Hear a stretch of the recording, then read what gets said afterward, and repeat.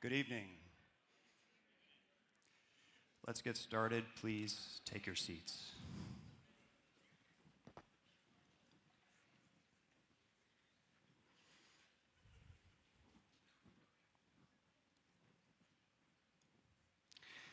Welcome to the 10th Annual Symposia Christi at Purdue University.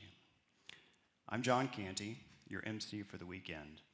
I serve an international ministry called Ratio Christi, which is Latin for Reason of Christ. We're present on nearly 200 campuses, and we're dedicated to encouraging and equipping students and faculty with historic, scientific, and philosophical reasons for following Jesus. We welcome nearly a thousand of you attending here live at Purdue University's Loeb Playhouse and we welcome the many, many more joining us live stream from universities and locations around the world. We're thankful for over 30 sponsors. These you saw on the screen behind me as you're walking in or waiting for the live stream to start. You can also find them in our literature and on our website at symposiachristi.net.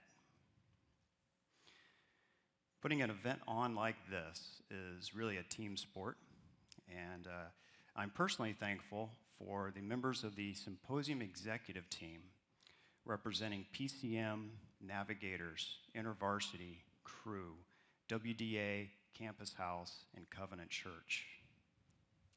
At this time, please take out your cell phones and silence them. Don't be that guy or gal. For tweets and hashtags, use hashtag do you matter. We'll have a live Q&A at the end, so please hold your questions till then. Purdue University is consistently ranked one of the best in the world, right? And this is not just because our faculty are top notch in their disciplines, but because they genuinely care about their students. They believe their students matter. Some of these top notch faculty believe that Christianity provides the most reasonable basis for why their students matter. And a few of them are here today, professors who are confessors.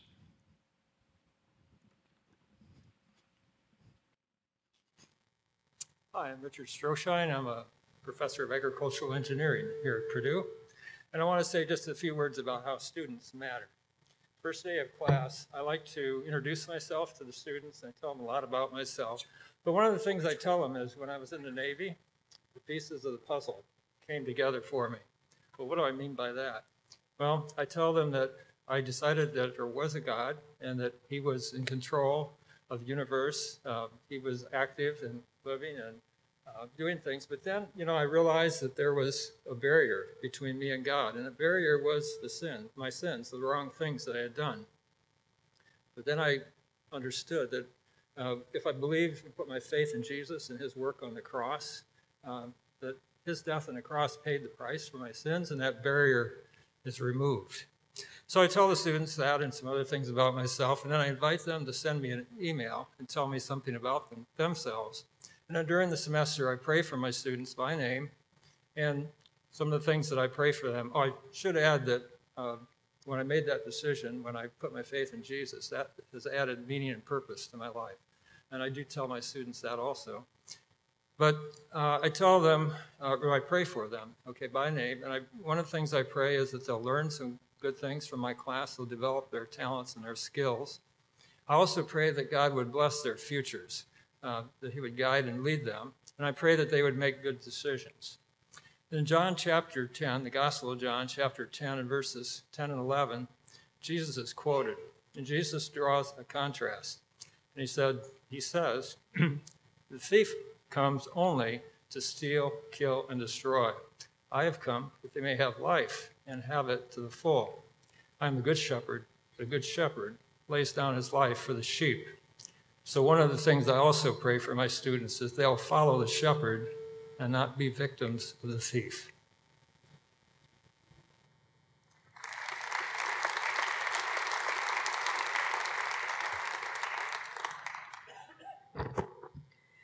Good evening. My name is Dulcy Abraham, and I'm a professor of civil engineering in the Lyles School of Civil Engineering at Purdue. I'm a follower of Jesus Christ. And I have great pride that I'm the child of God. I'm made in the image of God, and I'm so treasured and valued and loved by Him. I believe that Jesus Christ is the author of my life and that He has redeemed me because of His death on the cross and because of His resurrection. I believe that the Bible and a Christian worldview gives me ample evidence that I can trust in Jesus. I can rely on his promises. You know, I'm very, very blessed. God has brought me to this wonderful place of learning called Purdue University. I feel that He has placed me at Purdue as His ambassador because I matter to Him, and I, you know He, you know He takes every one of us, all my students, my colleagues, and each one of them matter to Him as well. And because I am blessed to be at Purdue, I feel that I have the privilege to serve Jesus, my Master and my Lord, through the work that I do, and also through the interactions that I have with my students and my colleagues. I think it's a privilege to pray with my students and for my students, a privilege to be concerned about my colleagues and to pray and uh, mentor them. So I hope that you will uh, explore the claims that Jesus has made and see whether you can also have that gift of being loved and being cherished and knowing that you matter in His sight. Thank you.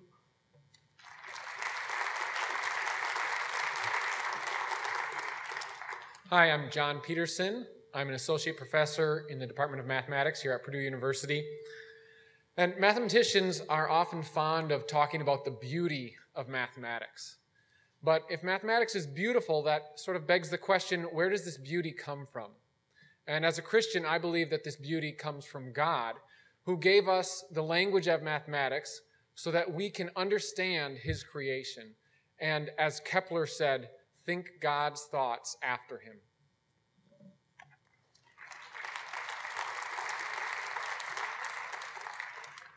My name is Erica Carlson, and I'm a professor of physics and astronomy.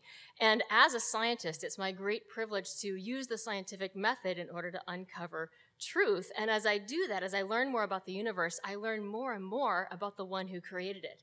I see in the record of nature that he is kind, that he is brilliant, way smarter than any physics professor I've ever met, that he is wonderfully creative, and that he loves you. It's also my great privilege as a professor to teach students how to find truth. And one of the best things about that is that I know as they learn truth, it draws them closer to the one who said, I am the truth, and that's Jesus Christ.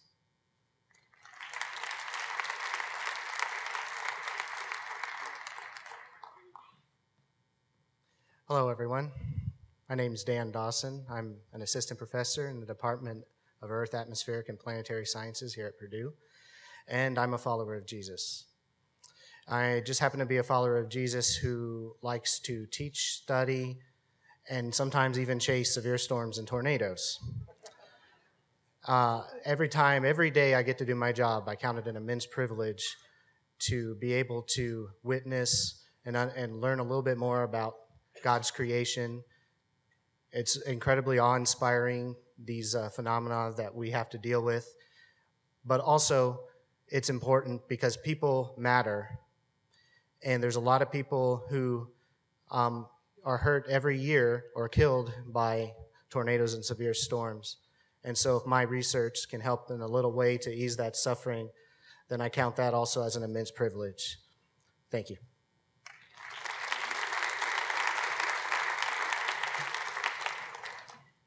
Good evening. I am Linda Wallace, Dean Emerita of the Indiana University Kokomo School of Nursing.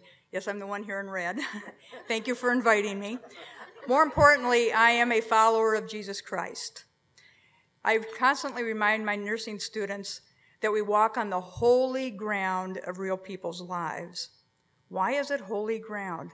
It's holy ground because before the world was made, God knew we would be here that he fearfully and wonderfully made each and every one of us, that he sent his son Jesus to die on the cross for our sins. That gives us significance.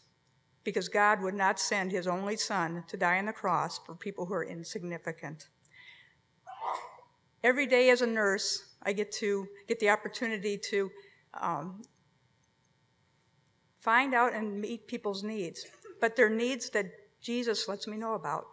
And what we have to offer is Jesus' love. We extend Jesus' love um, to people when they're at, in their greatest need and they're, when they're at the most happy, also before life and until death. So, whatever your calling is, your specific calling, whether it's nursing or engineering or construction or whatever your specific calling is, God has a purpose for you. You are significant. And God promises whatever we give Him, He will take and use. God is faithful. Thank you.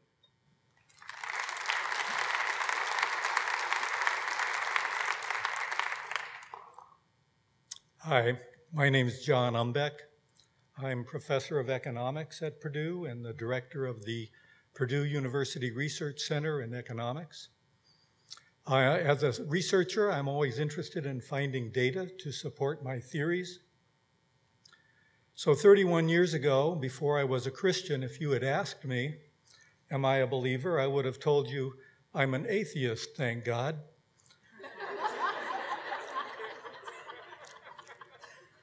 And then one day, a friend of mine showed me a passage in the New Testament where Jesus said, Those who seek will find, and those who knock, the door will be opened.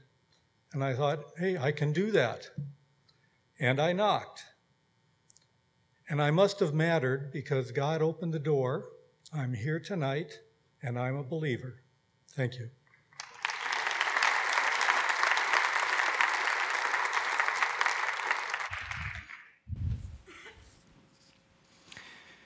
Using a secret using a secret room in their house. Corrie ten Boom's family helped some 800 Jews escape the Nazi Holocaust during World War II. While this required Corrie to lie to Nazi soldiers, her actions are seen by most as noble and good. But wait, is it good to lie? Does lying become good if it saves lives? On what basis can such moral dilemmas be decided? Do the ends justify the means? Or is saving lives just inherently more important than telling the truth? Or maybe there is no such thing as a moral dilemma, and it's just wrong to lie no matter what. Maybe you and I don't face moral dilemmas of this magnitude every day. But we do find ourselves often seeking the greater of two goods or the lesser of two evils. Some of you might be thinking about a recent presidential election.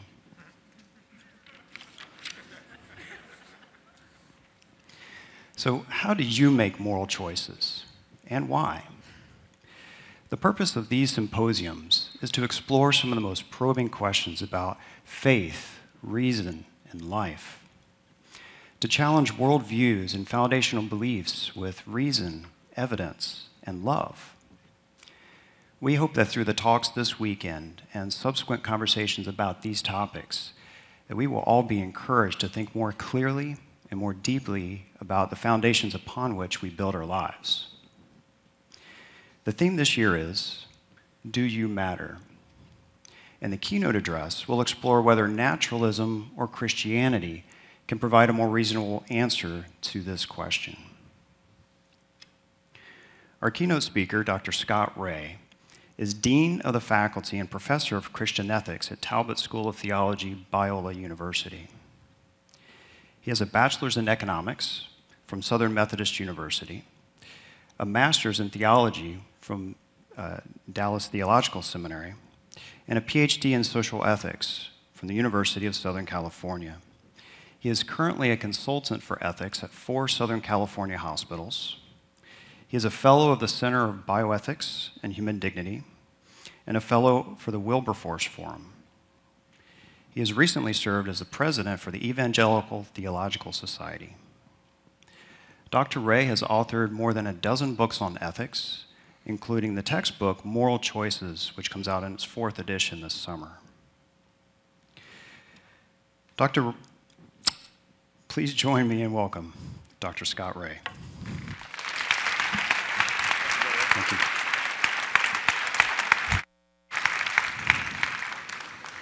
Well, good evening. Oh, that's really loud, isn't it? wow. I think I'll save my boom. I think I'll use my indoor voice here. Good evening. Thank you for uh, being here with us. I'm delighted to have a chance to be with you. Uh, I have come all the way from Southern California, so I'm freezing my tail off out here, I gotta tell you. Uh, I came, when I left Southern California on Wednesday, it was 89 degrees.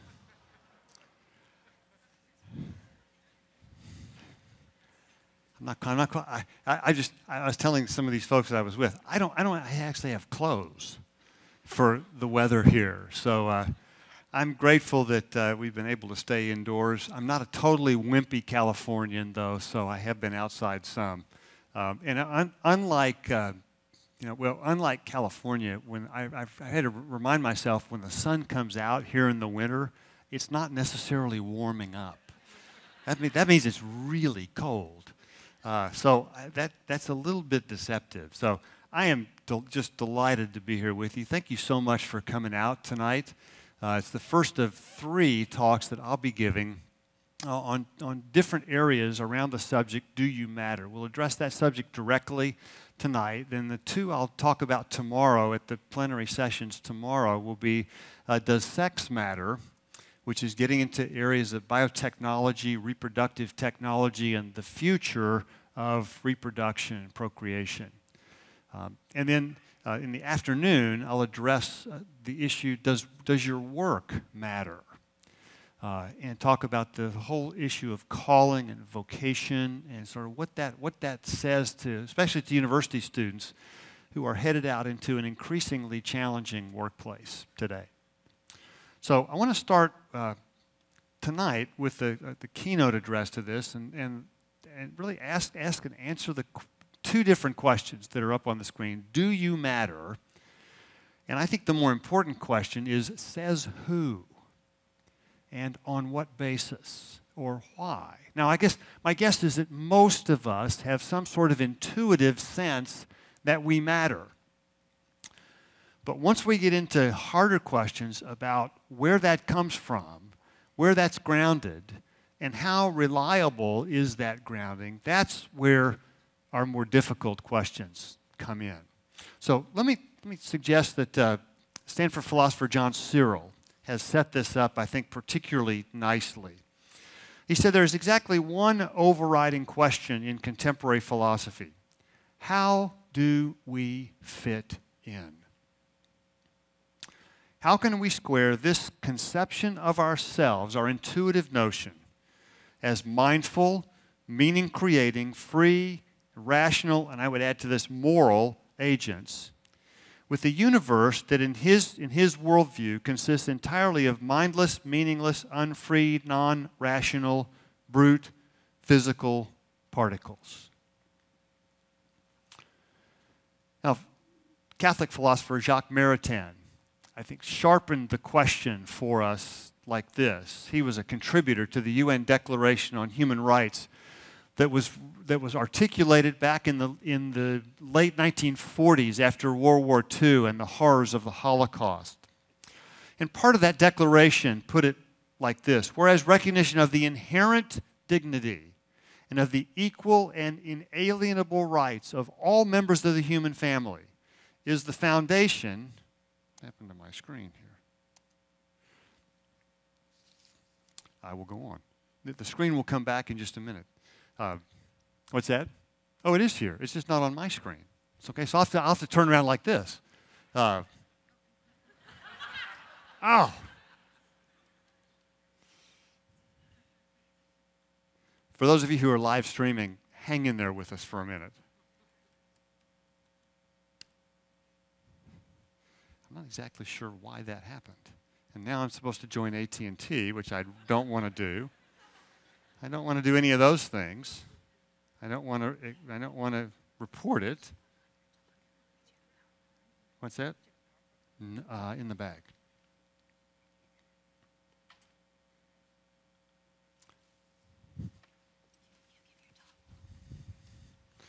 Guys, I was just getting to a great point, too. Here, okay, here we go. I knew I was going to need help from the physicist here eventually. All right. Maritain put it like, like this in the, in, the, in the Declaration, there's a recognition of the inherent dignity and of equal and inalienable rights. Go, no, look, what a magic touch, I'm telling you. Let me suggest, I would not want to get on your bad side. So, um, all right, Maritain put it, he put it like this We agree on all of these rights. And I think that's, I think that's, I think that is still true today. We agree on fundamental human rights, provided we are not asked why. With the why, the dispute begins. In other words, I think most of us would acknowledge that we matter. But it's the says who question where we begin to have lots of disagreements and lots of discussion.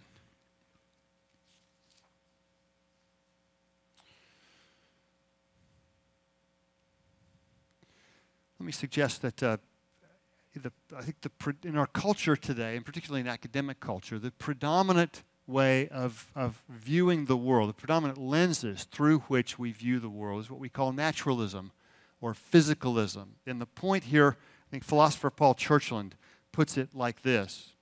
That the important point about the standard evolutionary story is that the human species and all of its features are the wholly physical outcome of a purely physical process. Which, by the way, is a, is a, is a philosophical declaration, not a scientific one. If this is the correct account of our origins, then there seems neither, no, yeah, come on, don't do that. Then there seems neither need nor room to fit any non physical substances or properties into our theoretical account of ourselves. We are creatures of matter. And he would say matter alone. And we should learn to live with that fact. Now, it seems to me in contemporary philosophy today and in much of the sciences, this is, this is the common view of a human being. That is, that human beings are nothing more than physical objects reducible to their molecules and chemical reactions that function according to the laws of chemistry and physics. Now, the, question in light of that view of the world, how do human beings fit in? Back to John Searle's question at the, at the very beginning. I say there, there are, in general, three answers that are most commonly provided to this question of do we matter? How do we fit in? The first one of these is, in essence, we don't. And get over it. Like starting now, get over it. A second one is to suggest we do, but it's based largely on, on an evolutionary explanation for human significance. A third common response to this is that we do, and it's conferred, that our, our, our purpose and significance is conferred either by government or by some sort of social practice, or we, or we might call it, it is self conferred. We, we decide that we are meaningful and purposeful and what that shape that takes. Okay? So, so either government conferred, socially conferred, or self conferred. Now, I think perhaps the clearest denial of human significance, this first response that we don't fit in, we don't matter, and get over it, comes from the Princeton bioethicist Peter Singer, who has popularized the term speciesism, that is, being a racist for your species, to describe the view that, that human beings have any special significance vis a vis the animal world, not to mention the rest of creation. Singer rejects the notion that mere membership in the human species endows human beings with any special significance. He first used this term way long ago in his work on animal rights back in the 1970s. Okay? Singer, although in- interestingly, and this is not generally a matter of public record, uh, Singer ha- admittedly had great difficulty applying his own view of a human being when it came to taking care of his own very seriously ill mother.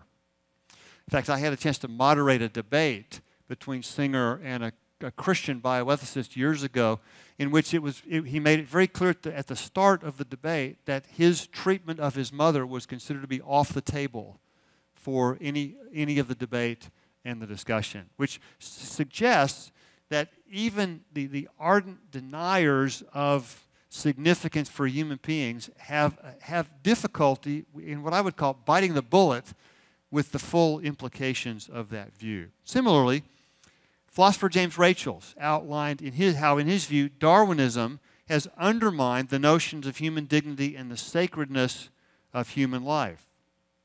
He clearly rejects the idea that human beings have any special significance, particularly in virtue of their membership in the human species. He puts it like this in the introduction to his work I shall argue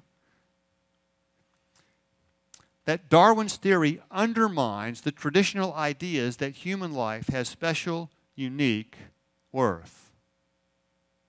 These echo the comments of the, the, the, the, scientist Richard Dawkins in the UK, who argued that the natural universe, consisting of, quote, just electrons and selfish genes, has precisely the properties we would expect if, it, if there is at bottom no design, no purpose, no evil or good, nothing but blind, pitiless indifference.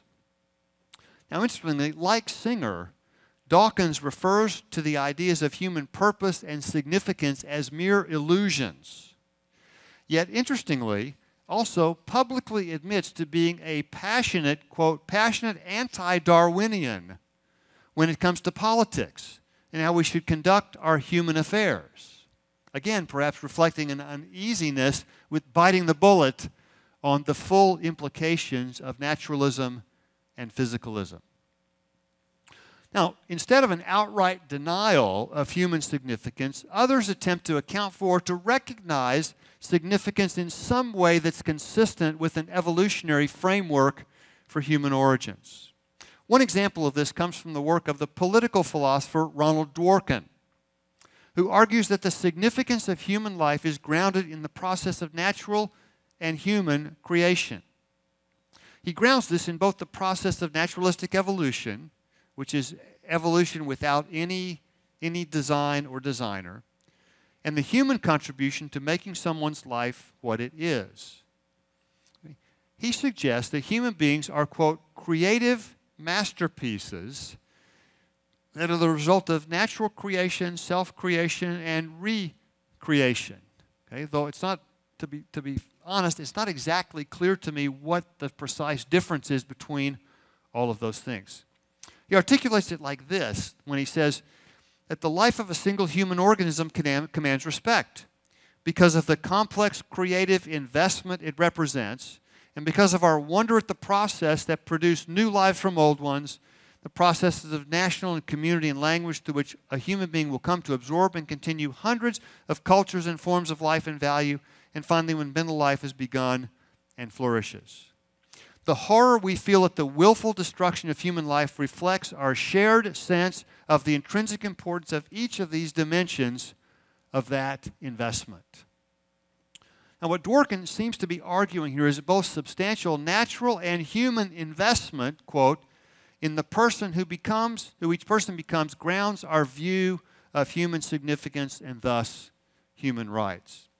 That is, human significance is recognized in view of the complex natural and human processes that produce human beings for what they are. In other words, it's, it's, it's by virtue of the universe's investment in human beings that we see through the process of long, long millennia of evolution.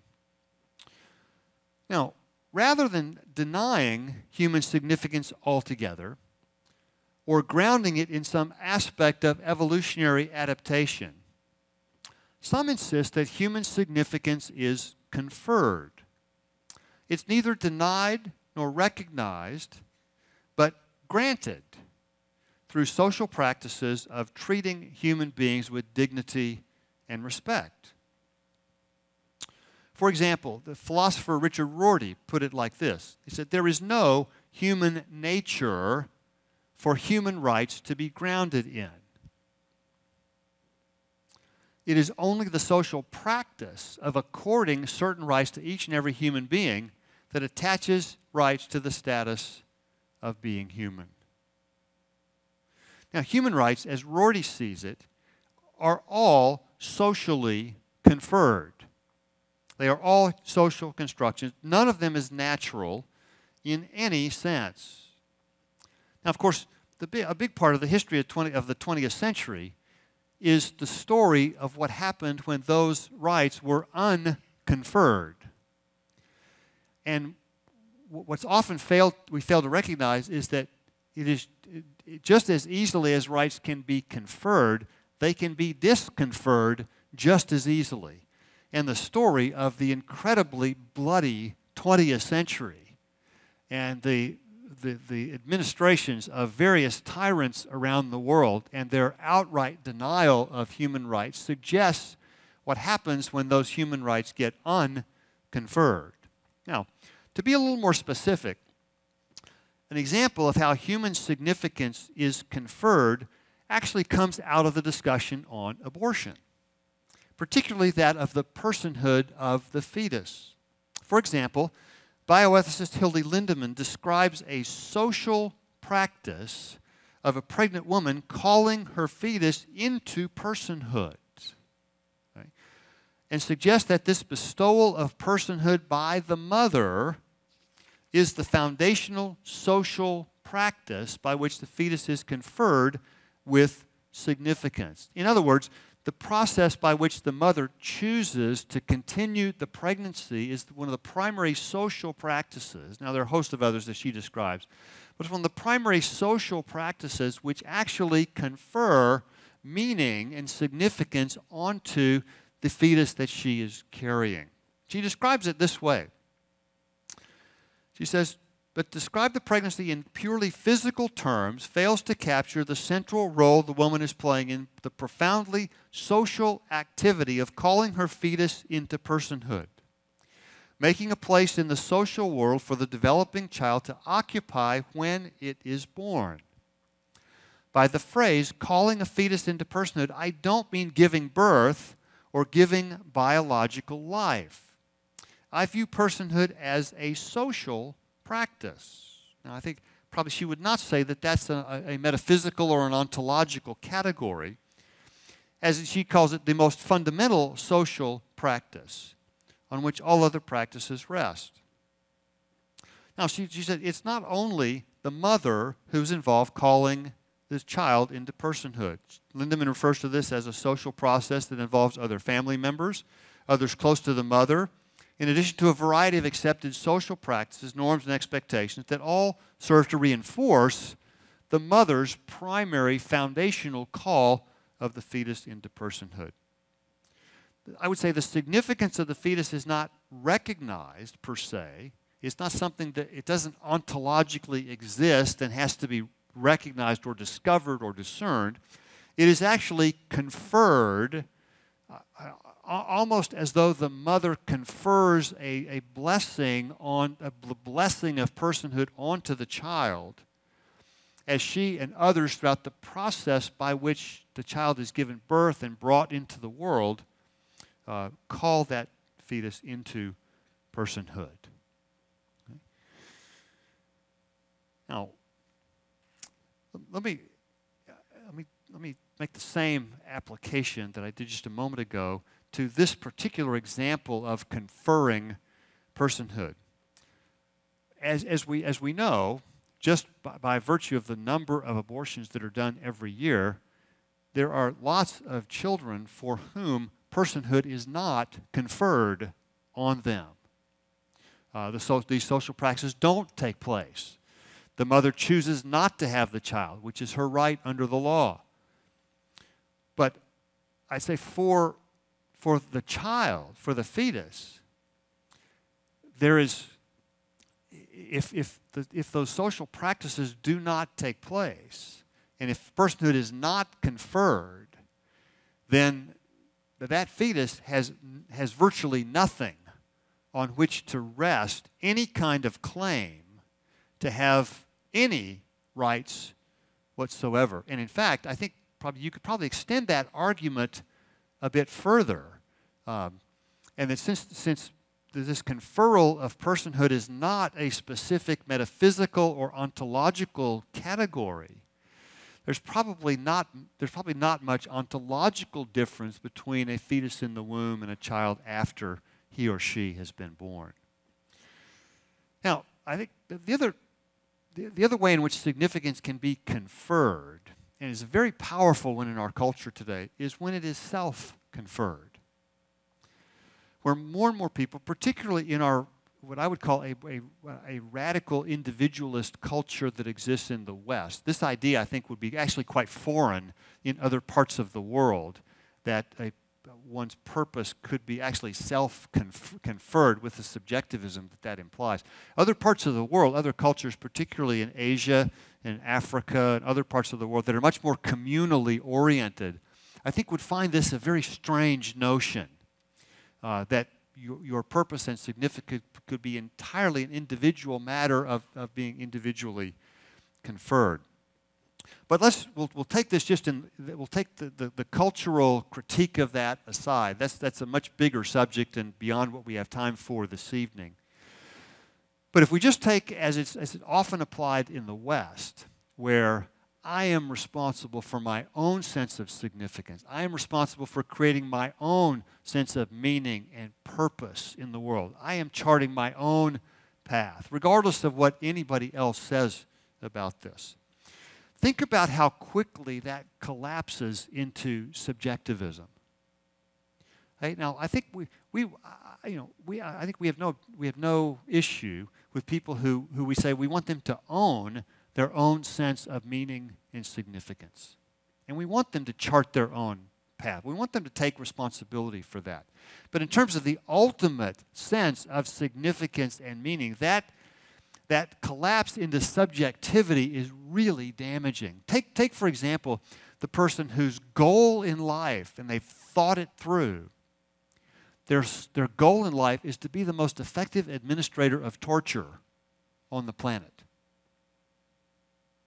Or take the person who says, uh, My goal in life is to have the largest drug distribution operation in the world, to challenge the cartels. Or the person who says, uh, my, my goal in life is to have the, the, the most global human trafficking operation in the world. Now, what would we say about that kind of conferred, self conferred significance? I think most of us would say, you know, there's something not quite right with that picture. That we, we, we would have some sort of objective limits on what kind of significance a person could self confer, which suggests, it seems to me, that the whole the, the project of the self conferral of significance and and worth and matter and purpose is one that's flawed right from the start.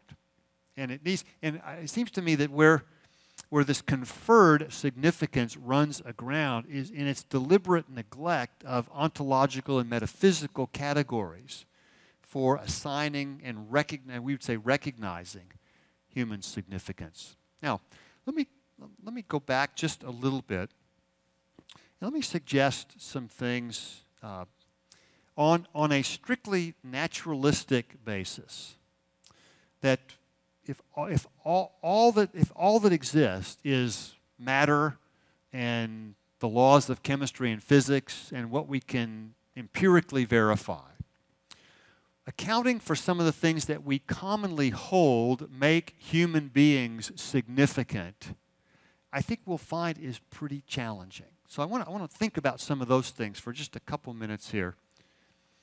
For example, take rationality among the aspects that are, are widely held, not universally, but I think widely held, to separate human beings from the rest of the natural world, and thus to help us account for some of the significance of human beings, are both rationality and morality and moral properties. Okay? Now, what I want to suggest is that accounting for these on a naturalistic basis faces some pretty significant philosophical challenges. And at the end, well, I'll come to this at the end, but I'll sort of give you a preview of where, where, the end, where we're going at the end on this, is that Christian theism provides a much more comfortable home for these concepts of rationality and morality. Now, account, the, the phenomena of rationality on strictly naturalistic grounds presents I think, some significant issues that have to be accounted for. Though it seems clear that a rudimentary ability for reasoning would be necessary for adaptive success in an evolutionary framework. It's much harder to explain the origin and history of abstract rationality, theoretical physics, for example, on strictly naturalistic grounds.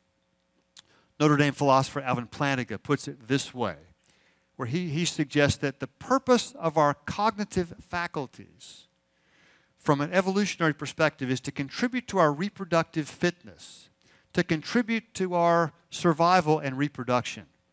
Current physics, with its ubiquitous partial differential equations, not to mention relativ relativity theory with its tensors, quantum mechanics, non, non abelian group theory, current set theory with all its daunting complexities. You get all of that?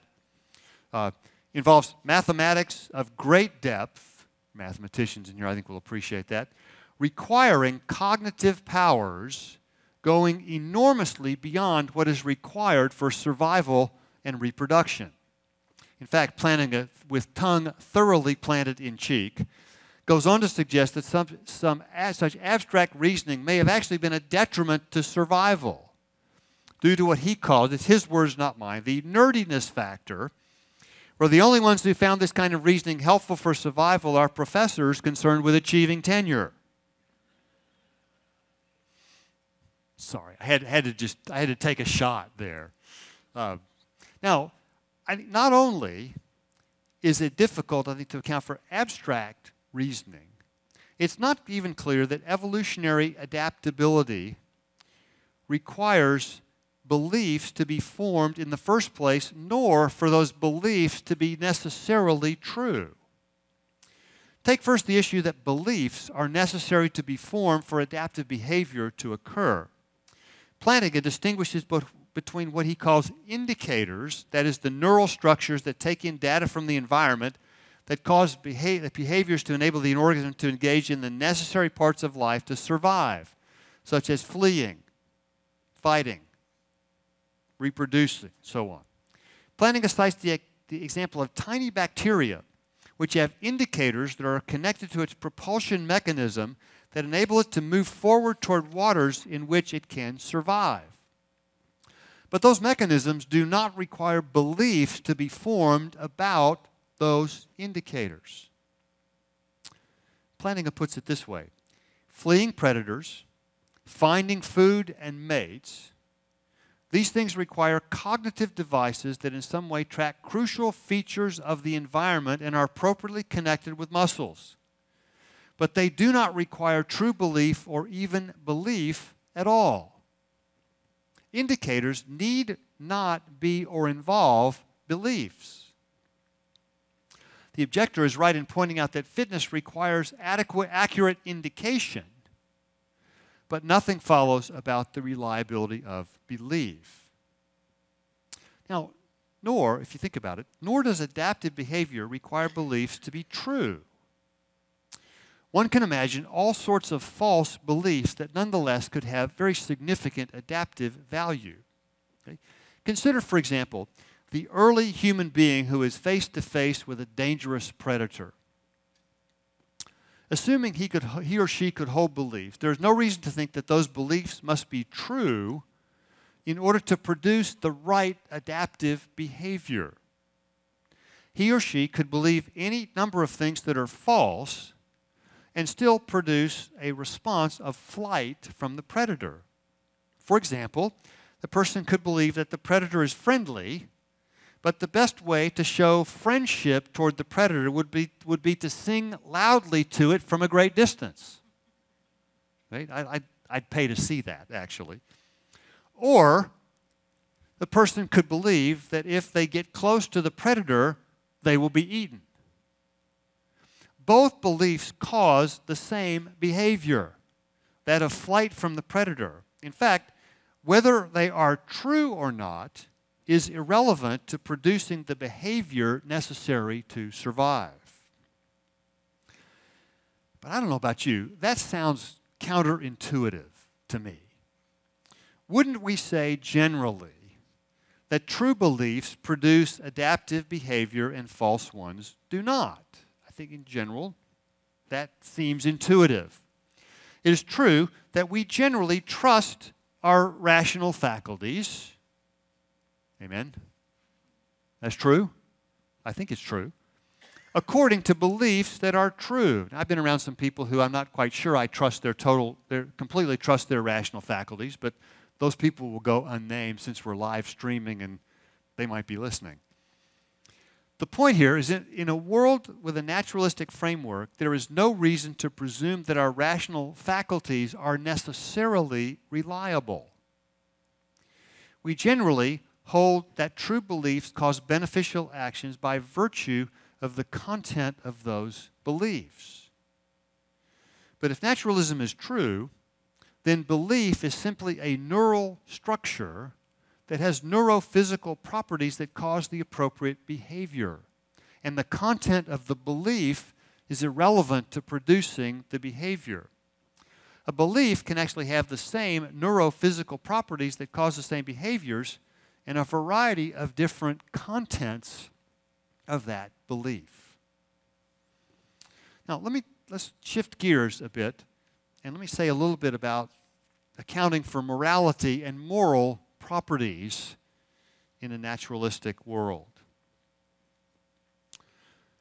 Now, on a strictly naturalistic basis, uh, morality can be seen as the product of evolutionary development. For example, sociobiologist E.O. Wilson insists that ethical codes have arisen by evolution through the interplay of biology and culture cites parallels in behavior between animals and human beings.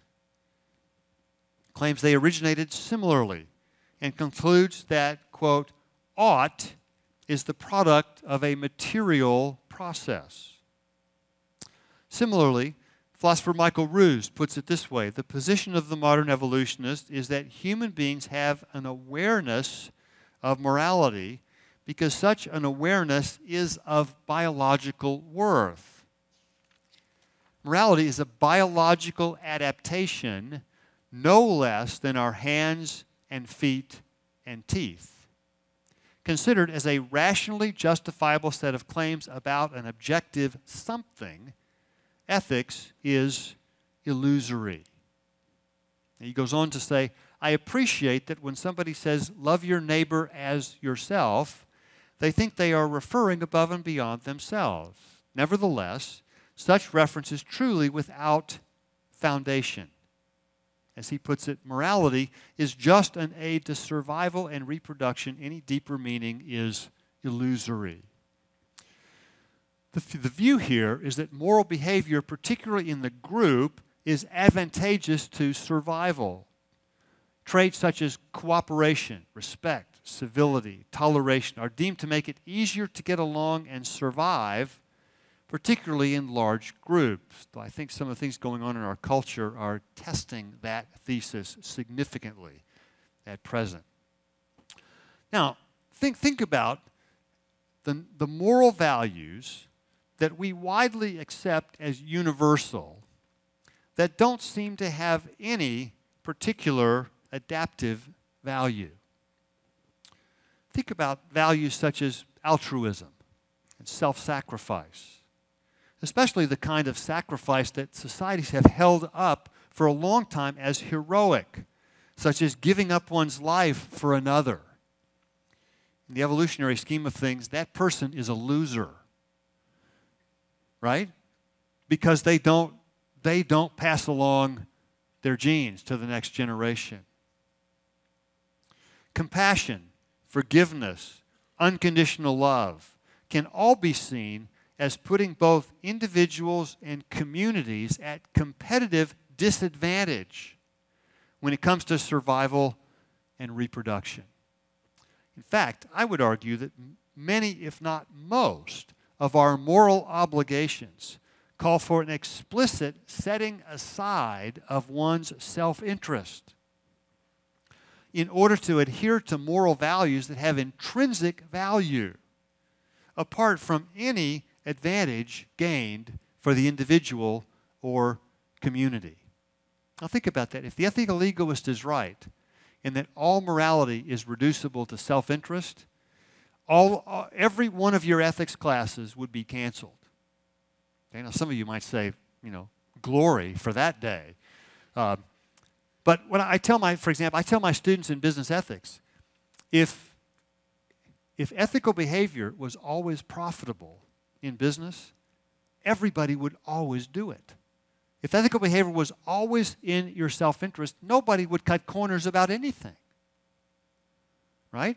And we wouldn't, we wouldn't be having a lot of the moral discussions that we would have. The reality is, at least in the short term, ethical behavior is almost always costly to the person. That's why we have things like ethical dilemmas in the first place, because there's almost always a short term cost to adhering to values or principles or virtues that we claim to be are intrinsically valuable.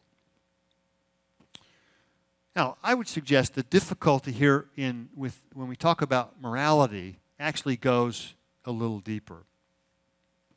As with rationality, the mechanism of adaptability on an evolutionary scheme has little to do with whether our moral evaluations are true or not. Now, for example, uh, philosopher Thomas Nagel takes the examples of pain and pleasure and recognizes that the association of pain with injury and pleasure with sex, for example, both have important adaptive values.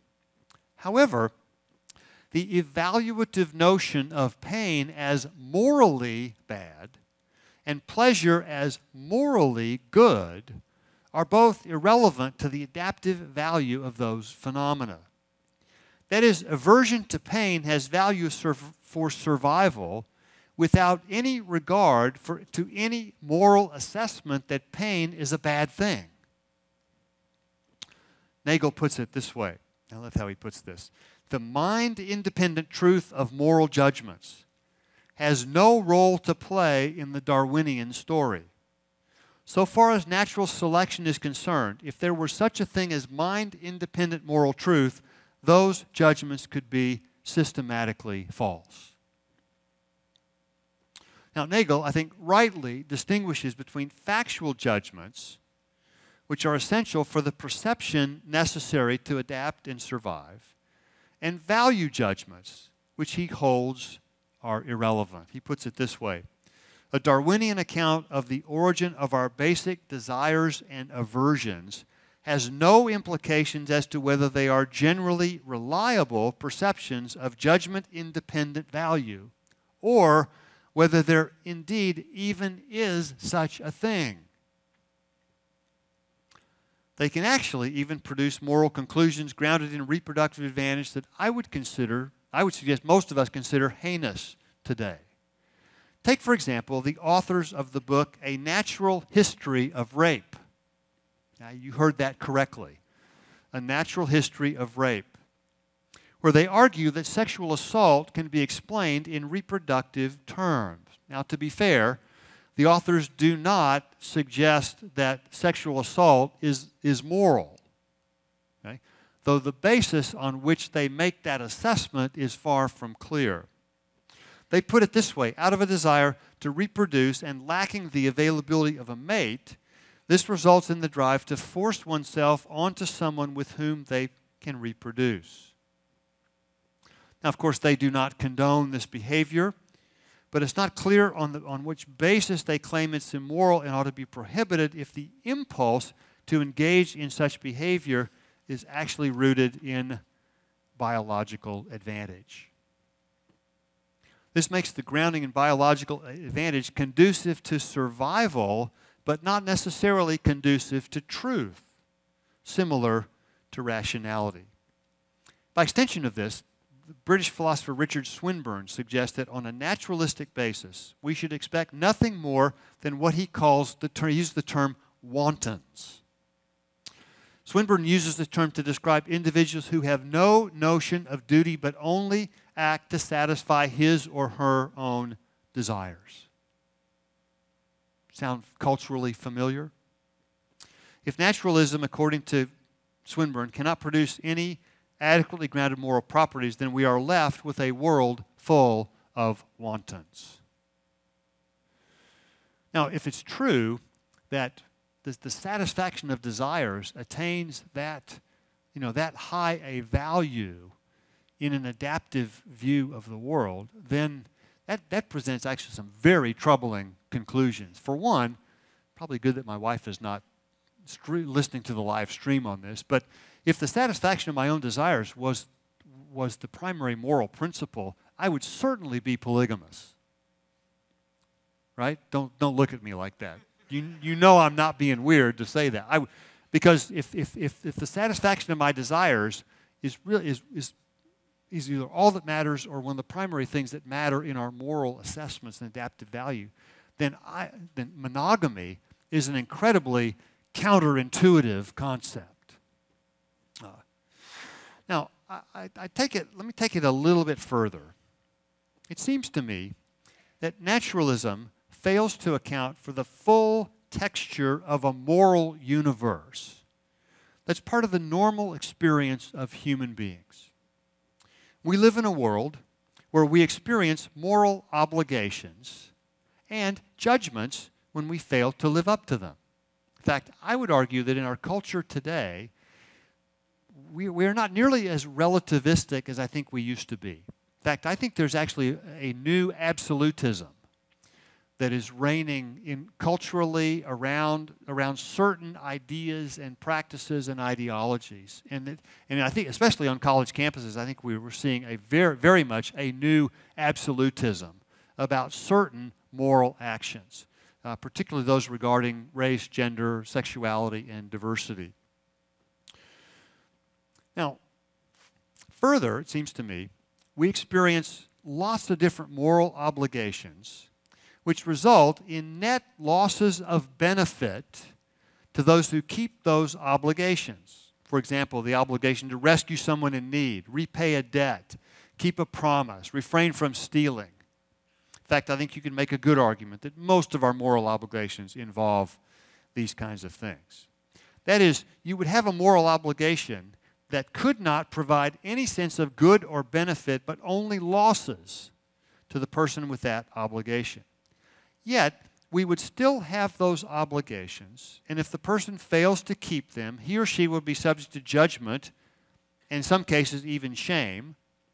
And the greater the failure, the greater the sense that the person is somehow defective in character. Right? I tell my, for example, we tell our business students that, you know, you know, don't don't think that character doesn't matter in the workplaces that you go into, because though the companies you go to work for may not, it's probably not quite to say that they're in the character formation business, they are certainly in the character screening business. And that, the, the character of the people who work for most of the companies that you will go that you all will go to work for matters enormously to them. Uh, and i think will continue to matter in the years to come. Now it seems to me these obligate i put it like this these obligations only make sense if unless, if, unless reality is somehow committed to morality in a very deep way. Only if there's a moral demand on the world, and only if reality will satisfy that demand. The radical demands of morality that most often bring losses to a person's life when, when viewed from a naturalist, physicalist view of the world, in many cases just seem overtly absurd. Now, let me, let me reflect a bit on human significance in a distinctly Christian view of the world. I said at the very beginning that I thought we could make a good argument that, that the answer to the questions, do you matter, and says who, and do we fit, are much more at home in a distinctly Christian view of the world, which I'm going to call Judeo Christian theism. For the theist, I think but both, both for Judaism and Christianity, you matter, ultimately, as, as several of the faculty members mentioned, because ultimately, at the end of the day, you are made in, his, in the image of God, as His representative in the world with intrinsic and inestimable value.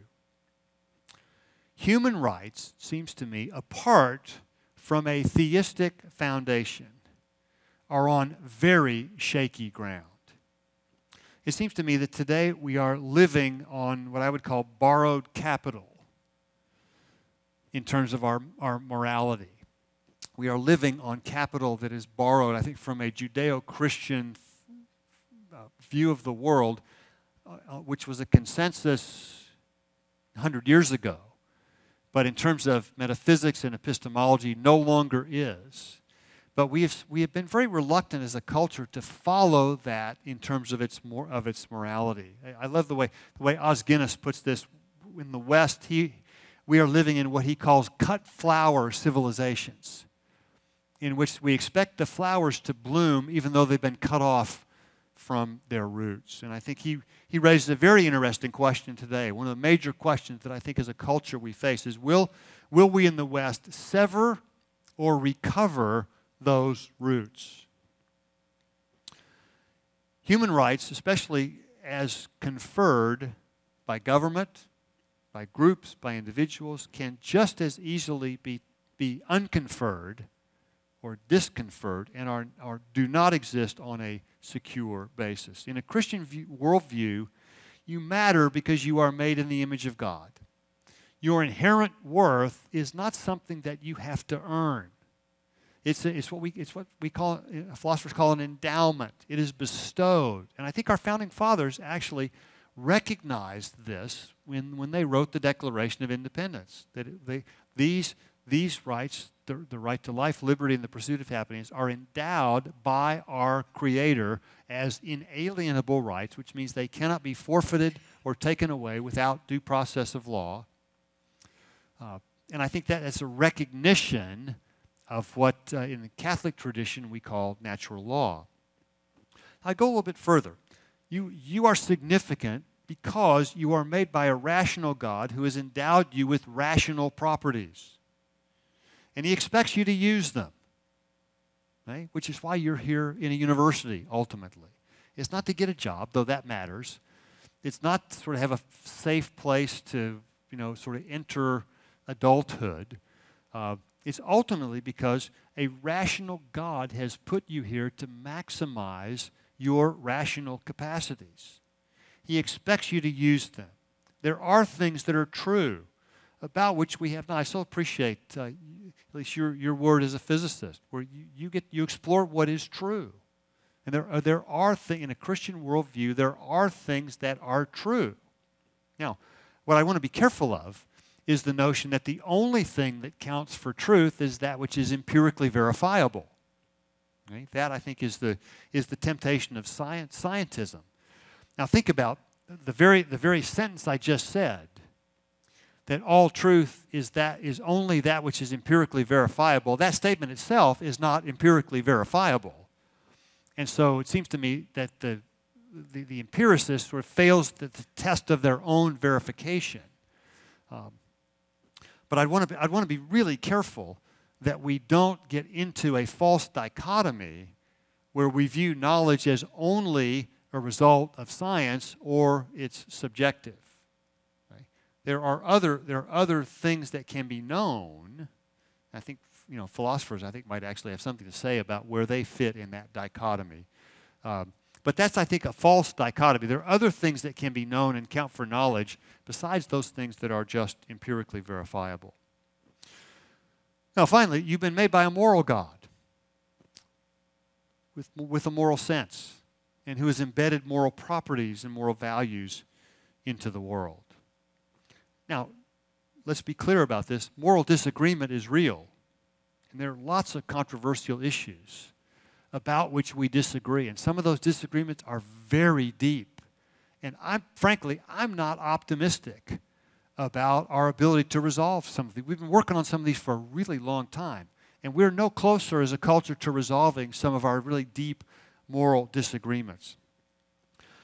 But I'd want to put that in perspective with what I think is a fairly, still fairly deep reservoir of shared values that exists culturally today and that has been shared widely throughout the history of civilization. Otherwise, if, if, if, the, if the pool were, were really shallow of those shared values, our life would resemble chaos, it seems to me.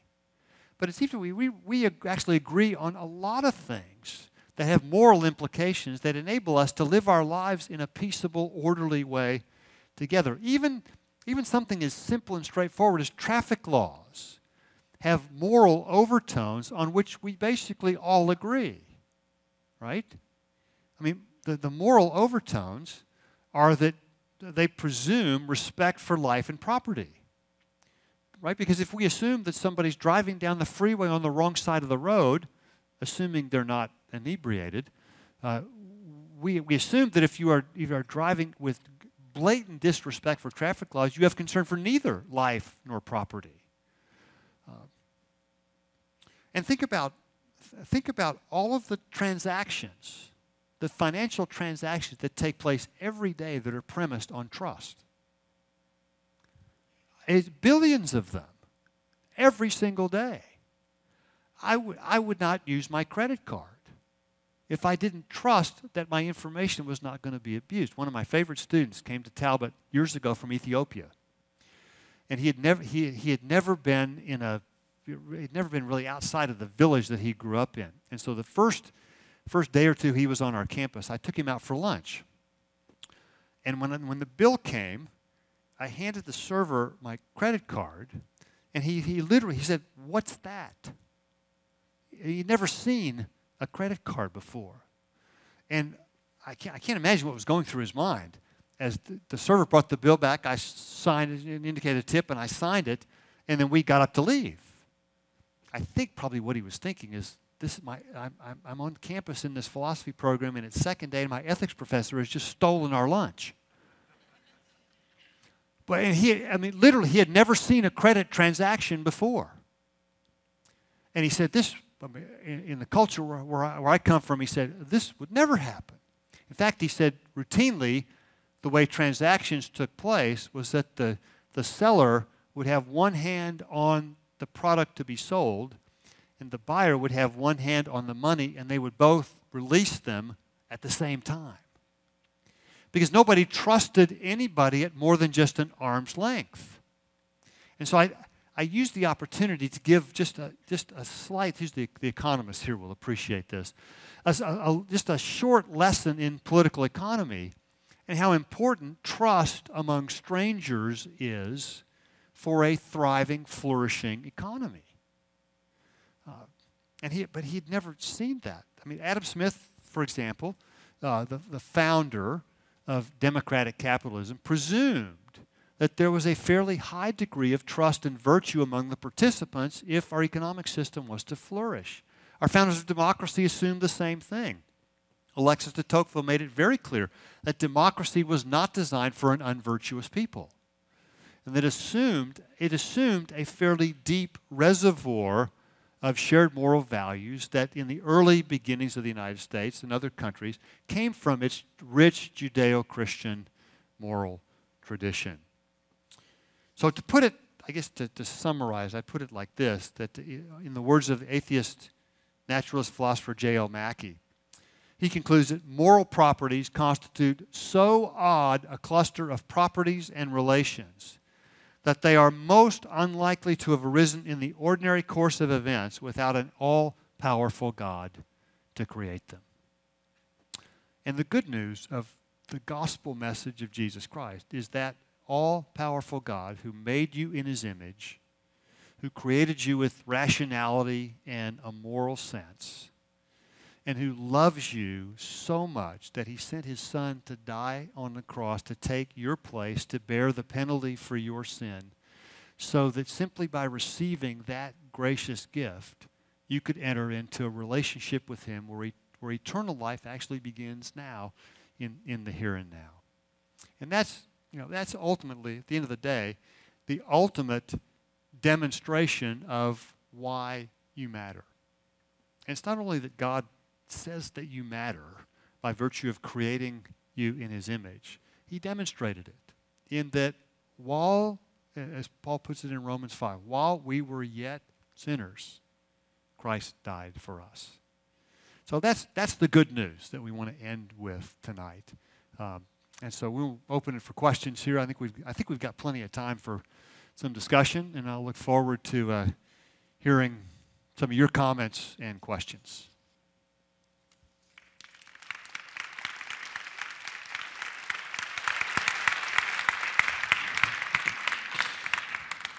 So we're going to go ahead and start our formal time of Q&A here. Uh, we have a microphone on each side on the end aisles. Go ahead and start lining up. We'll go back and forth between them.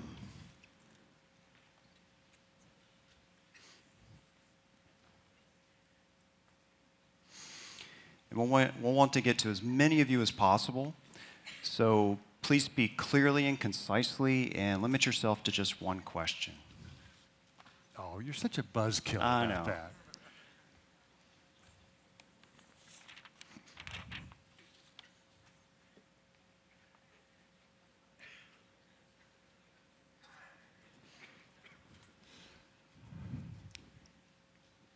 I figure e- either either that was clear as mud, or I'm not quite sure what to make. Looks like you've got a customer. Yes, customer.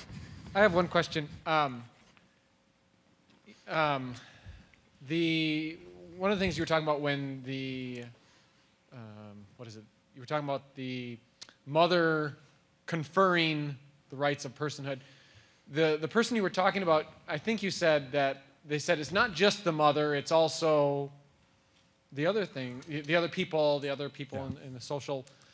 Um, I guess one question that arose in my mind, if you know, if someone wants to take that view, which I don't, um, it seems to me that that's inherently um, fragile already because if it's just the mother, um, that's not enough. But you have to have the mother and the other culture around, and well, how many is enough? That's and, a yeah. and and so, how do they do they even address that issue?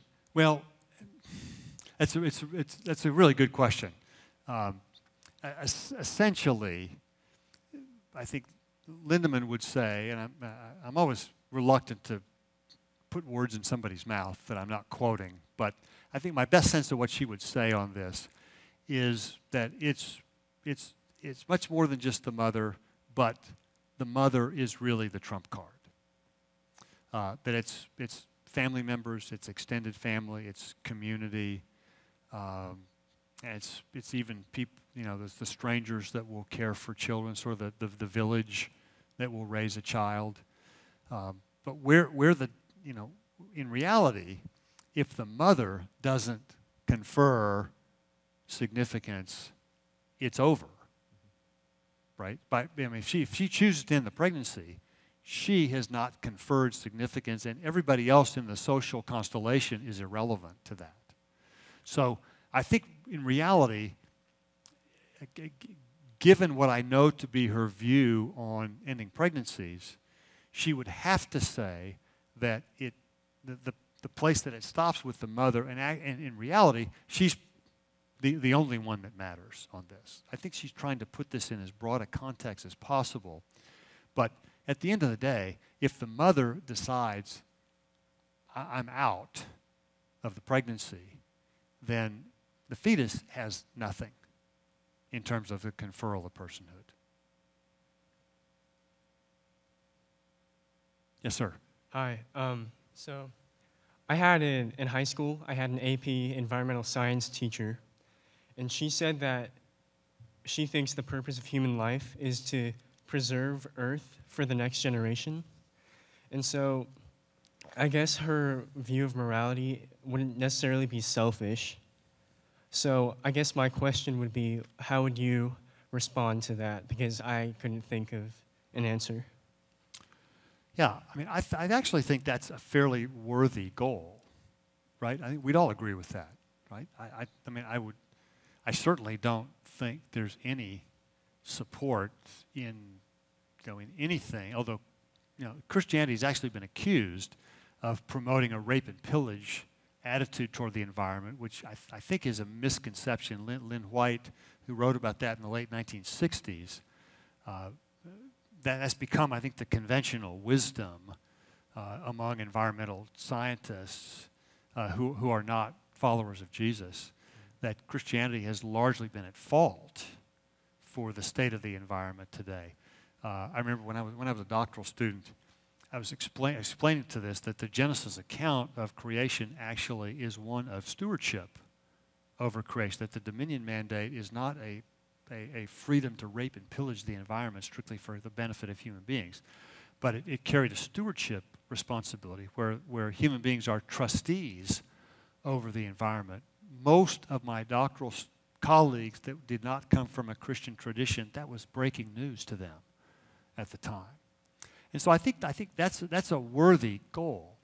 Uh, although I, I would suggest, the way I would answer that is that there, there are valid human needs uh, that, that have to be balanced with environmental preservation. So I take, take for, for example, uh, I think the recent discussion on climate change, I think, is a, is a really good example of this. Uh, you know, I, li- I live in California, and my, my state actually takes great pride in being on the, sort of the leading vanguard of movements to accelerate the progress toward reducing our carbon footprint. Uh, in, in, my view, and we, we, there's probably considerable debate on this, but in my, in my view, taking pretty, what I would call e- economically draconian solutions for that. And I, I, have, I have no doubt that we are heading toward an, an era in where you know, we will probably be majority, if not entirely, fueled by renewable energy. How, how far away that is is anybody's guess. How far away it should be, I think, is a matter of really significant moral debate. Because if, if the launch ramp to renewable energy is fairly short, like like my state of California is proposing, what that will do to energy prices and to the ability of the poor to raise themselves out of poverty in the developing world in the short term, in my view, is catastrophic. Because the, the, the one thing besides education that is necessary for the poorest of the poor, and these are the people who live on you know, two to three dollars a day, in the developing world to raise themselves out of poverty is cheap, plentiful energy. And so I think that there's, there's a moral consideration here that I think needs to, be, needs to come into the equation, and that I would argue for a, a longer launch ramp to get to renewable energy so that the people who I think, we, who I think have the, the strongest claim on any, on any public policy, which are those who, are, who would be the most adversely affected, which are the poorest of the poor around the world. Uh, so that they, I mean, if, in my view, if we, if we go too fast toward renewable energy, we will cripple their ability to raise themselves out of poverty. So I was, that's an example where I think with, with our our consideration for the environment, we do have, there are competing moral obligations that we have. And sometimes, sometimes they need to be weighted differently, I think, depending on what else is at stake. So I guess I would answer your prof by suggesting that there are, there are other moral considerations that have to be taken into account that I think are legitimate competitors um, with protection of the environment. Thank you. Yeah. Did it, answer your question? Okay. Uh, I'd like to ask uh, where do animals and animal behaviors fit into a theistic moral world, worldview? In that, for example, a female praying mantis will decapitate the male after mating, or ducks primarily mate through rape, or a meerkat will uh, kill the kits of other pregnant mothers to avoid competition. Uh, are these actions morally abhorrent by using a human standard or through God's eyes? Or do animals have their own moral order? let me, let me, let me, let me fr- frame, it's a really good question. Let me frame it theologically. Um, and let me, let me, I'll, I'll use as an example the re- relationship in the scripture between predator and prey. In, in Genesis 1 and 2, prior to the general entrance of sin into the world, there was no such thing as predator and prey. Okay? Uh, in fact, I think you can make a really good argument that in Genesis 1 and 2, human beings were intended to be vegetarians.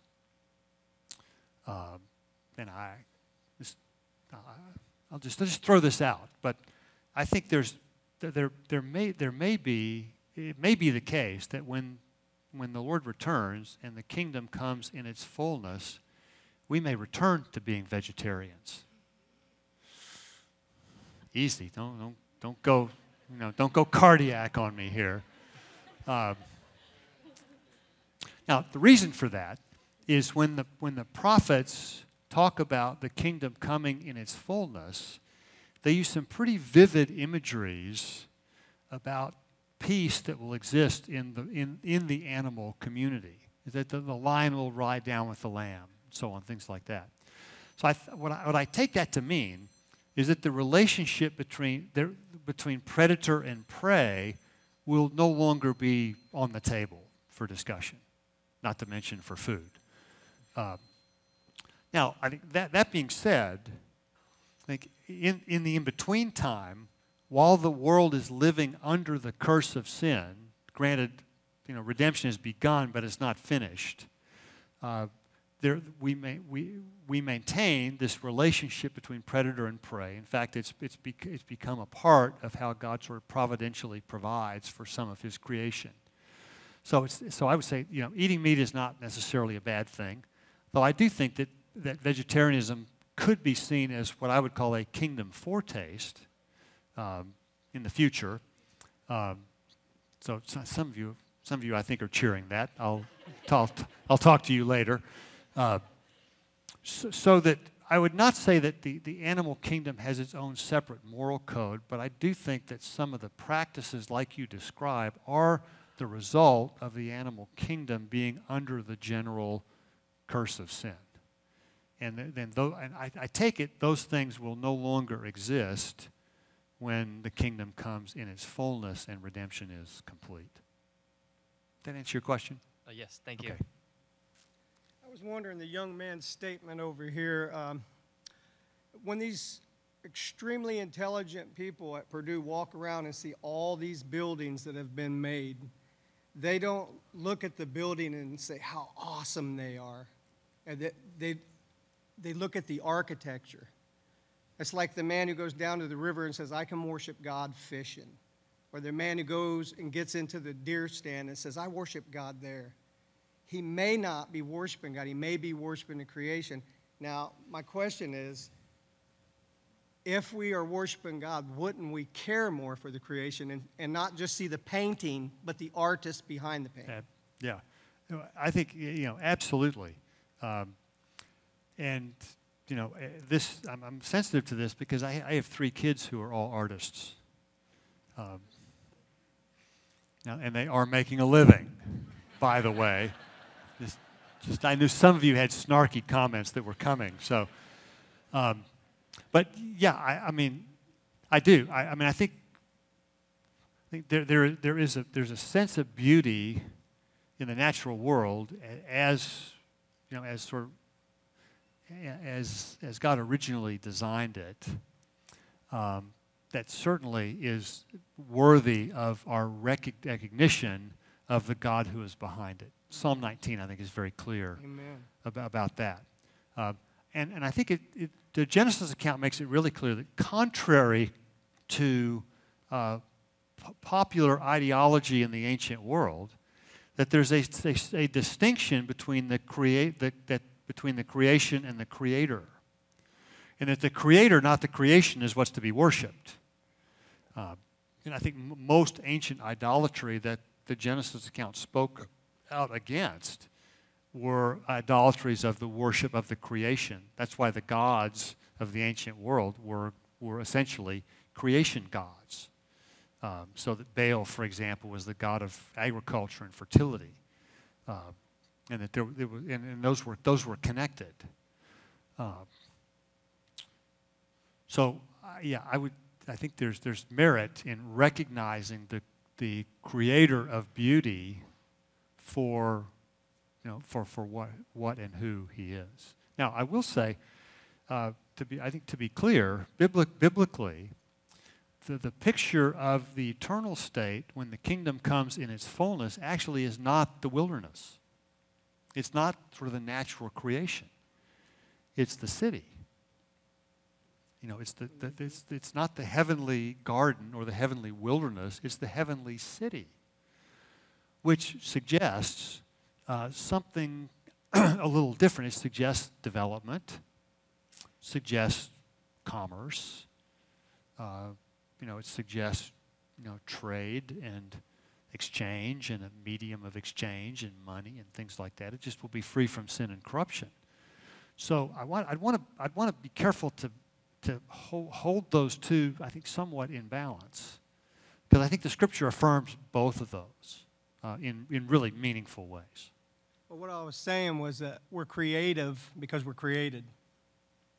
And yes, and we're yeah, by, by a creative God. And listen, my, my boys who are artists, don't I know that? Uh, yes, ma'am. Thank you for being here. Um, so you argued briefly uh, that there is a race absolutist ideology in our society on topics such as race, gender, um, sexuality, identity, diversity, and inclusion. Yes. Uh, could you further elaborate on that? And then also, could this possibly um, tie back to the whole concept of conference that you mentioned earlier?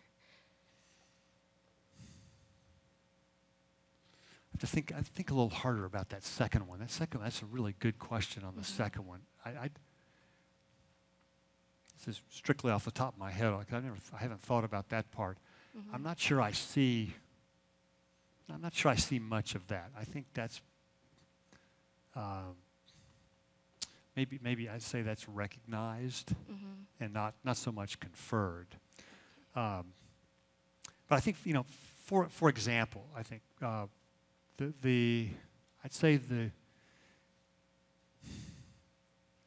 I'd, I'd say the, the, the, place in culture that, uh, that the discussion of race has taken, I think is largely a good thing.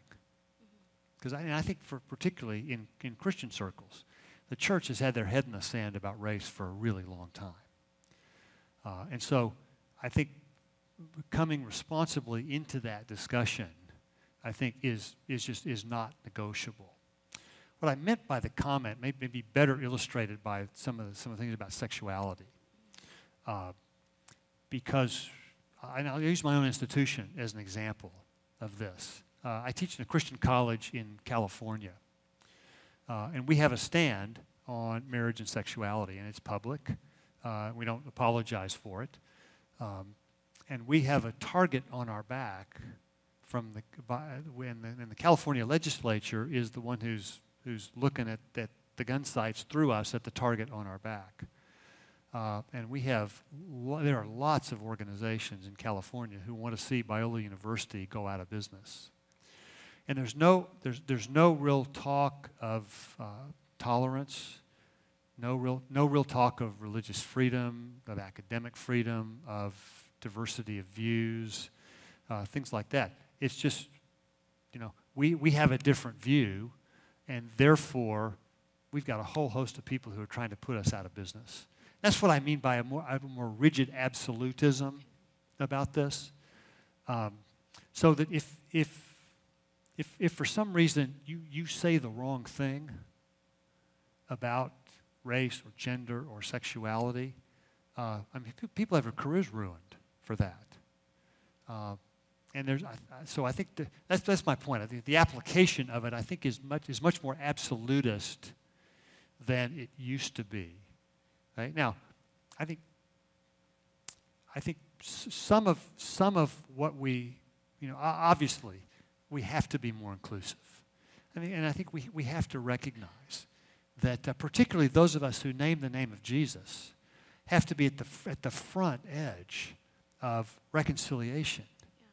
Uh, I think sometimes we forget that the early church dealt with the mother of all racial conflicts between Jews and Gentiles and considered their theology of the cross and their unity in Christ to be sort of end, end of story for the, you know, for, the, for the reasons necessary to pursue what was a very difficult reconciliation project. But the writers of the New Testament expect, not only encouraged, they expected the church to get it right. And remember, there in Acts 15, Paul publicly rebuked Peter for his inability to, to treat Gentiles as co heirs in Christ. And that was, fun, that was fundamentally an ethnic division. Uh, and they, you know, there, there just was the, there was the expectation that the church would do this well. And I think probably there are probably a handful of things that uh, I think our Lord is most disappointed in, and I suspect that that's you know how how I think the church has failed in that area is is one of those major major disappointments to our God. Does that, does that answer your question? Yes. Okay, thank you. Um, hello. Um, I just had a, I guess this is more of a question relating uh, morality What uh, more naturalism.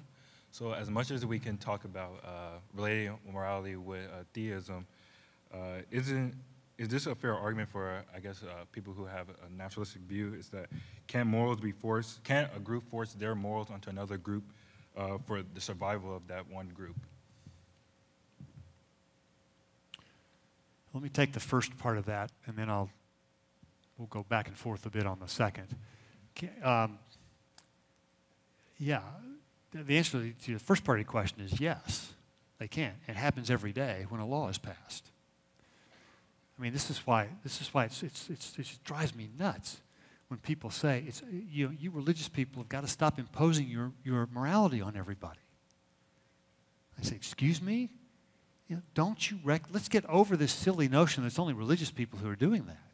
Because every law is the imposition of somebody's morality. Right? I mean, I, I mean, I'm, I'm open to there's certain, there being certain laws that might be morally neutral, but there's only a handful. I mean, I mentioned traffic laws earlier. Those presume respect for life and property. Uh, I mean, almost every law has a, has a moral overtone to it, and it's the imposition of someone's morality. Uh, and, and, you know, I think they're, I guess I would suggest that the imposition of morality is sort of an equal opportunity ideological offender. That happens across, across the ideological divide.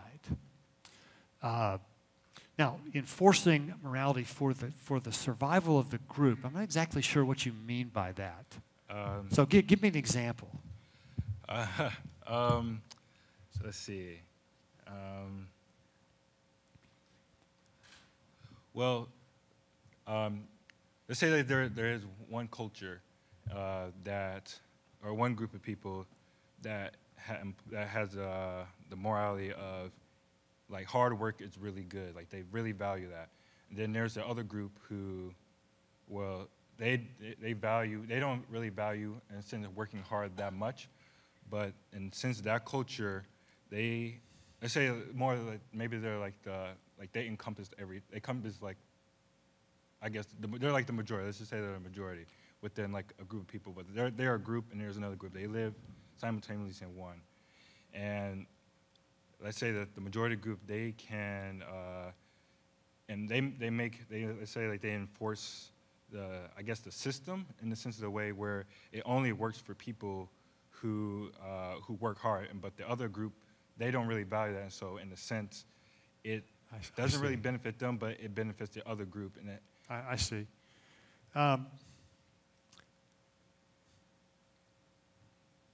well, I, th- I think we, what, we, what we generally do is that we, we enforce this by the law in, in some respects.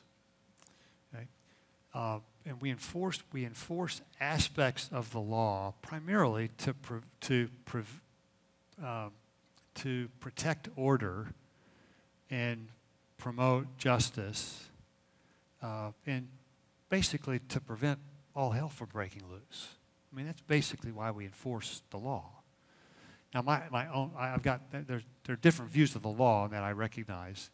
Um, so, but, but my, my, view of the law presumes a little darker view of human nature that comes from my adherence to the, you know, one of my, my patron saints is St. Augustine, uh, who had a, I think a particular, some would call dark, I would say just realistic view of human nature. Now, the other way this can be enforced is through systems where, you know, it, where certain things can be incentivized. Like, for example, we, in, we incentivize people to own their own home by the tax laws. We incentivize people to be married through tax benefits that come from marriage. We encourage, we incentivize people to have children through child tax credits, you know, things like that. Although, you know, if you parents, if you put the if you put the pencil to that, uh, there's anyway you you get you get the picture. Uh, so some things I think some things we, we intentionally build into the system. I think other things that, you, that I think that you mentioned about hard work, uh, I think those are those I would call baked into the system maybe a little differently. Because um, I think, you know, for example, I think some of the some of the laws of economics that we've discovered, they just they, they just are. Uh, I mean, you know, incentives matter to people. I mean, it sort of is what it is. Um, and so we, we function in light of those things. Now, some of those things I think are, um, you know, are there by, you know, by God's design. Um, others I think are, are mere human creations. So, for example, I would, I would say, this may be some debate about this, but I think our, our, our more largely market economic system is a human creation. I don't, I don't think, I mean, I, I, I'm, I'm for most market kinds of things, but I don't think that was handed down from on high, from heaven. Uh, and God says, you know, thou shalt run your economy according to free markets.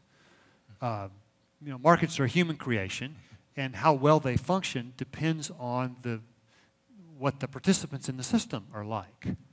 Um, this is why, for example, in my view, uh, when, we, when markets were introduced into the former Soviet Union, after the Berlin Wall fell years ago, uh, the economy, you know, in large part, was taken over by the Russian mob because the virtues necessary for markets to function effectively just, just there, there, there had not been fertile soil for those to take root in. So, anyway, I hope that's answering your question. Uh, uh, I'll take that as a no. Uh, Maybe let's, let's talk a little afterwards. Definitely. Okay. My question picks up on your analogy of a flower that's been cut on the stem and we still expect it to keep flowering. Um, I would say our current Western culture is like that, and in that we largely rejected God. But my question to you is based on my theory, is that the only thing keeping order at this point is our affluence. And if for some reason that was taken away, then we would degrade into disorder and uh, the social order would be broken. So can you, do you agree with that assessment? And tell me why. Well, you're asking me to play prophet on that. Um, yeah, I, I do. I, I think there's I think there's merit in the, the, the premise that um, our sense of order is largely held together by our affluence. I think that's a big part of it. I don't think that's all of it. I do think that we still have a very fairly deep reservoir of values that would that I think would stay intact if our affluence were diminished. Um, now it depends on the degree. I mean, if if if it, say if we became much like uh, some of the states of Western Europe and Scandinavia, um, where the you know the, the tax rates are much much higher there, seem, there just seems to be a different, there's a different trade-off where they pay higher taxes in exchange for much more services. And, um, but I think in general, the standard of living we would consider to be, you know, the, the GDP I think is less than what it would be here. Uh, if it, you know, if markets collapsed, and you know, although watch, looking at the stock market today, I'm hopeful that that's not imminent. because it was it was a very bad day for our 401ks today. Uh, but if you know if it you know if if for some reason we started to look like the developing world, uh, then I think you might have a point uh, where you know where uh, our, our common morality might look different. Uh, if, if we're really struggling to sort of eke out a living. Um, and I think maybe if it, it to, to, I think to maybe to to amplify that a bit, if, if also if the structure, if the social structures that support our economic growth started to disintegrate, then I think it's, it's not hard to see, you know, uh, us re- reverting back to the, the, the, Hobbesian worldview of this you know, nasty life being nasty, brutish, and short. Thank you. Uh-huh. Oh, let, well, let's at least take one more question so we don't close on that optimistic note. um, yeah, so uh, when you were talking about the naturalistic um, ex- viewpoints of, you know, morality or rationality and different things, you gave – different examples of kind of some inconsistency of the people that um, that proposed those ideas of you know each of them kind of had a limit to where they were willing to um, stick to their naturalistic worldview. Um, and i was just wondering in the day and age we live in you know there's a lot of when we talk about these moral issues and different things we run into a lot of people that maybe have some cognitive dissonance with those kind of things or maybe some intellectual dishonesty um, and I was just wondering, you know, how, how should we have that conversation with those people? How, how do you engage with people where that becomes an, um, to where that become that plays a factor, that plays a role in the discussion? Um, and at one point, do you just kind of abandon philosophical or moral, you know, arguments in those discussions? Well, you know, being an academic, I'm not generally in favor of ever abandoning those. Uh, but I, I do realize that, um, that if, if you have people who oppose your views and, and do so with a lot of passion, uh, and they bring that to the discussion, um, what, what, I'm, what, what I'm after is, you know, I want to I want to win over a person who I, who has become my friend. Mm-hmm. And I, I find, and this is what I find so troubling about our current sort of political environment, is we seem content to, to shell the other person who we disagree with and expect that somehow that's going to be a winning proposition. Um, you know, I'll take, take for example, I was, was at the American Enterprise Institute yesterday in D.C., and the, the president of the, of the Institute described an episode where he had written a book uh, I forget what the book was about, but he had had a, a, a really harsh critic write him an email that just went on. It took him like 15 minutes to read it. Went on and on and on about how um, how he disagreed, thought he was an idiot, and just went point by point by point. And rather than come back at him with the same level of vitriol, instead, you know, you know how he approached it? He said, I said, you obviously took my work really seriously and you read it all. I am so grateful that you read my whole book and, and took it so seriously. His, and his email, and he hit send. Um, and the next email he got back from the guy about 30 minutes later said, Next time you're in my town, call me. I'd like to take you out to lunch. And there's something, I think there's something to the, the proverb that says, that says uh, you know, a, gentle answer turns away wrath. There's wisdom in that. Uh, we, we seem to think that the, the only way we can kind of get along today is by lobbing grenades at each other. Uh, you know, all, that, all that's doing is producing broken bodies. Now, to be, to be a little more specific, I do think that it's appropriate to gently point out the cognitive dissonance that they feel. Because I think, a, in, in my view, it's a, it's a little bit disingenuous to think that we, we ought to have this full flower that's been cut off from its roots. And the way I, the way I would do this is by creating scenarios that I know will illustrate that dissonance for them. And just say, so tell me, tell me, I'm, and, and, and without, you know, without doing this like it, it's in your face, but to say, you know, I'm really interested to, to understand. Help me understand how you think about a scenario like this. Mm-hmm. Says I, because I think our, our, our first response with people who disagree with us passionately is to listen. We, we, we have, in my view, we have culturally almost lost the ability to listen to people who disagree with us. And I think that's part, that's part of what the Bible calls us to treat people, even people who disagree passionately with, treat them with respect and dignity. Um, and to, usually what we find is that, that expression of gratitude, you know, I'm so glad you read my book, thank you, can be incredibly disarming. Okay? Now I realize there are some people, you know, who are going to be angry and vitriolic, and no amount of winsomeness is going to change that. I get that. Uh, but that doesn't give us a pass to launch a hand grenade back. Right? Does that answer your question? Yeah. Okay. You're going to cut this off, aren't you? I'm the bad guy. Yes. How dare you? Yes. So, in the interest of time, we're going to end our formal Q and A here. Uh, let's go ahead and give Can one I- more round of applause for Dr. Rae. Can, can Now- I ask? I, I, need, I need to do one thing before we stop. Sure. I want to ask a favor. This isn't on the script. This is not on the script. So, this is my, it's my son's birthday today. When I say go, would you yell happy birthday to him? Okay, I'll give you the three, two, one. Just a minute. Please pick up.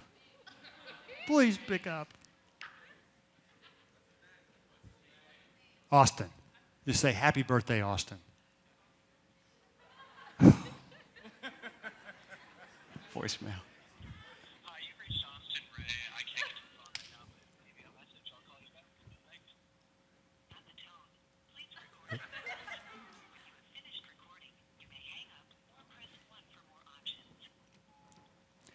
Happy birthday, Austin. Who loves you, baby? All right. Thank you very much. You guys are at the mics. Uh, Dr. Rae has, has offered to stick around and, and talk with you a little later, so you guys get first dibs. Um, I want to thank you for your participation tonight. And uh, two quick things before you leave. First of all, this is just the beginning of this weekend symposium. If you look in your brochures, which you hopefully got at the front door as you were coming in, you'll see that we have a dozen talks tomorrow between plenaries and breakout sessions. Like tonight, all events are free and open to the public, so please invite your friends. Lastly, you'll be able to go back and watch Dr. Rae's talk as well as previous symposium talks all the way back to 2011 on our website at symposiachristi.net. So go out with others tonight and have great discussions about Do You Matter, Says Who. Thank you. Good night.